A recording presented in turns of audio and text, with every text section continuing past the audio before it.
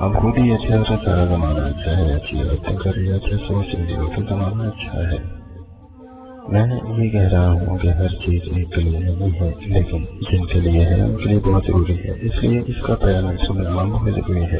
ये ख्याल बड़ा अर्सा से बहुत से लोग तलाश कर रहे हैं कि मेहरबानी की है, आपको बैठे बिठाए मिल गया है।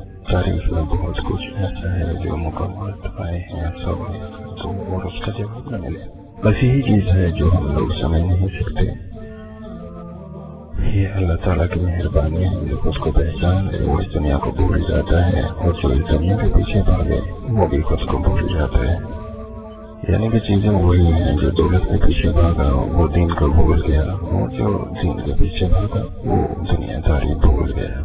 उम्मीद करता हूँ आज फिर नए आपको बहुत कुछ सीखने को मिला होगा। मजीद अच्छी वीडियोस के लिए हमारे चैनल को लाइक कीजिए, सब्सक्राइब कीजिए और शेयर कीजिए।